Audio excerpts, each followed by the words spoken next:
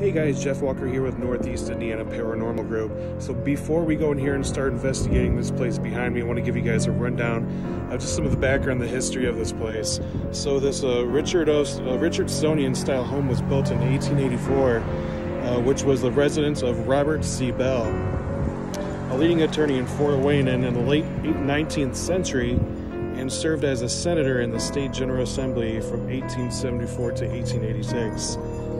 Uh, his wife, Clara Wolf, was actually one of the founders of the Fort Wayne Museum of Art. Uh, William Noble, one of the Bell partners, was a leading Indiana Democrat. Uh, was close friends with Democratic presidential nominee William Jennings Bryan, who had once given a speech here from the front porch of the virtues of the Silver Standard.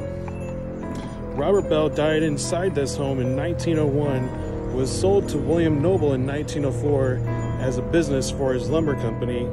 And then in 1926, it was sold to William Klaehn, which then in turn turned into a funeral home until its closure in 2018. So, uh, it's kind of scary. I'm used to being in haunted houses as an attraction, but actually is really is haunted. So, uh, wish me luck.